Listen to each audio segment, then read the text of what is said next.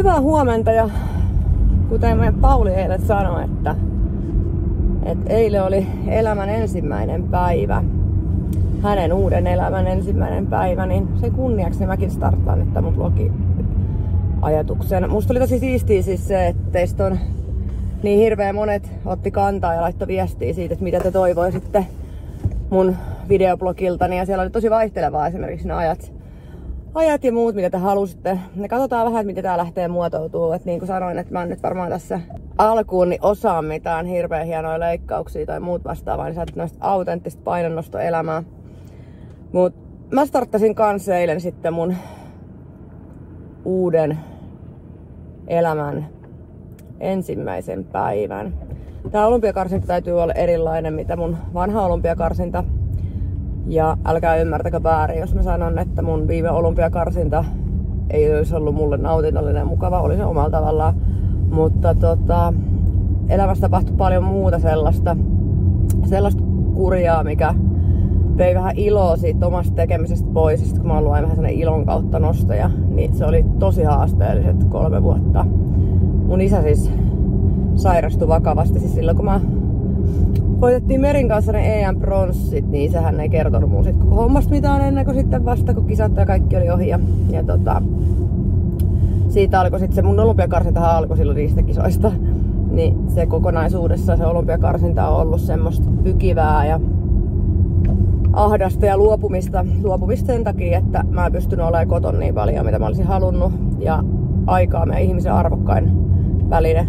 Ja sitten kun mulla oli samassa kupissani aika, mikä olisi pitänyt viettää perheen kanssa ja sitten aika, mikä pitäisi viettää harjoituksissa, niin se ei mun tapaiselle ihmiselle, joka on ratkaisukeskeinen ja haluaisi auttaa kaikkiin, niin on luen kaikkein helpointa. Niin tai näin, niin eilen Paulin, Paulin kanssa puhuttiin, että starttasi tosiaan Paulin elämän ensimmäinen päivä ja olkoon se myös sit mun tämän olympiakarsinan eka päivä, että kävin ottaa vähän maksimeita. Mistä nyt ihan hirveästi jälkipolville kerrottavaa, kun mun edellisessä painonnostoreenistä rupeaa olemaan kolmisen viikkoa. Mun harjoitussysteemi oli ihan erilainen ja se on myös raastanut vähän mun hermoja. Normaalisti reenan niin, että mä oon vahva ja nyt mä oon niin, että mä oon heikko. Niin se ei oo mulle itselle ollut niin kuin kauhean mukavaa.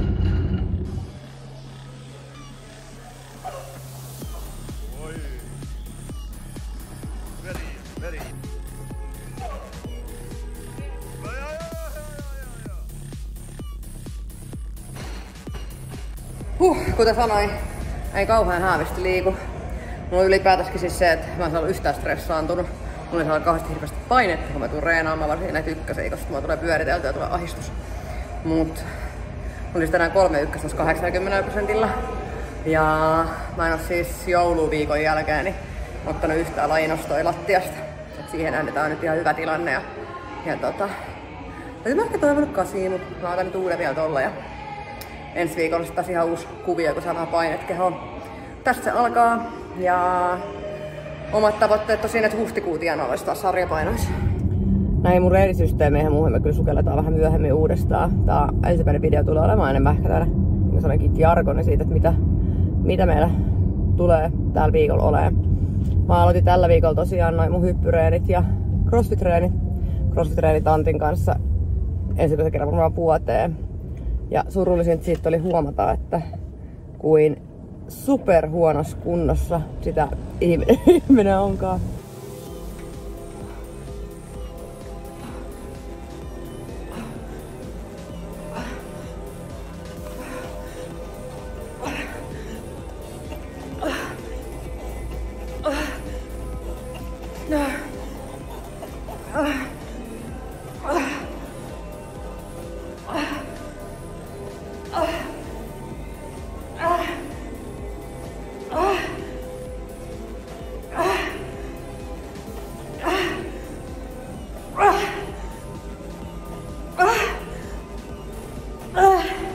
Hyvä.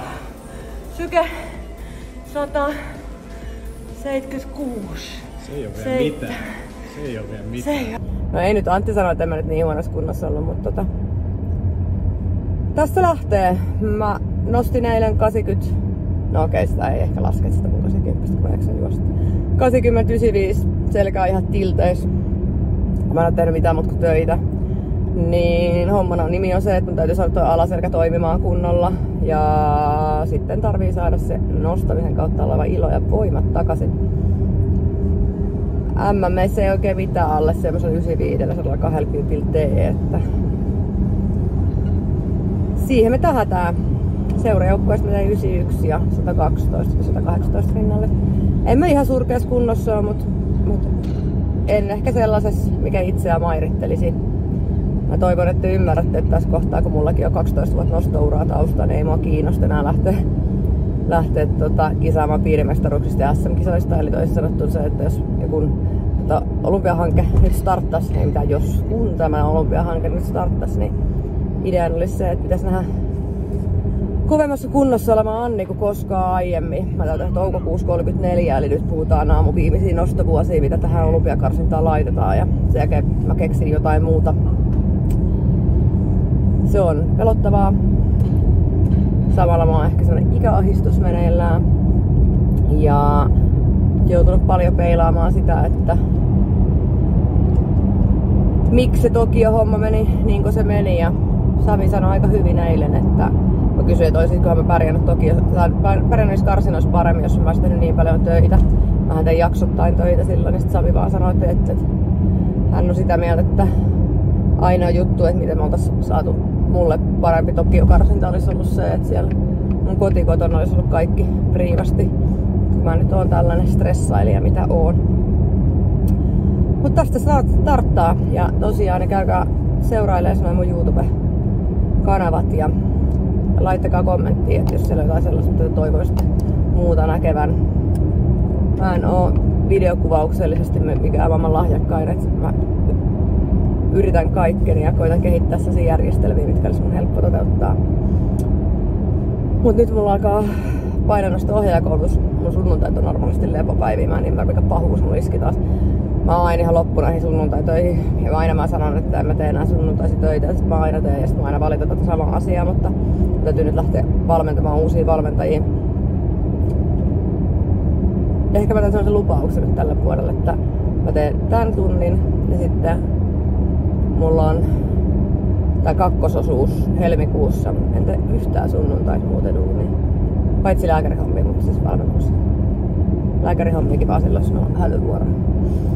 Mut nyt ajan tonne Kulosaaren bunkkeriin, niin jatketaan. Hyvä. Sitten seuraavaan vaiheeseen. Mietti, hei, että se on ylöspäin, että se on tämmönen liike. Että se tulee tutuksi, koska nyt jos se on silleen niin, omalla painolla, niin ettehän ne saa sitä toimimaan sillä tangollakaan. Niin kun nämä rupeaa toimimaan, niin te voitte lisätä sitä nostojen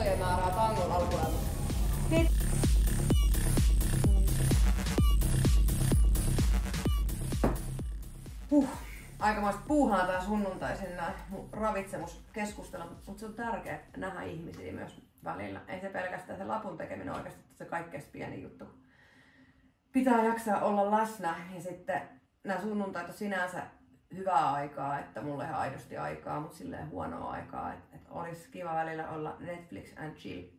Otettiin tota Alpeen nyt reissut, että eiköhän Psia päästä chillaamaan, mutta mä lähden nyt suihkuun ja, ja tota, katsotaan huomenna, että millaiseksi tämä markki muuttuu. Kiva. Mou. Ei, no kommentti. Eksi.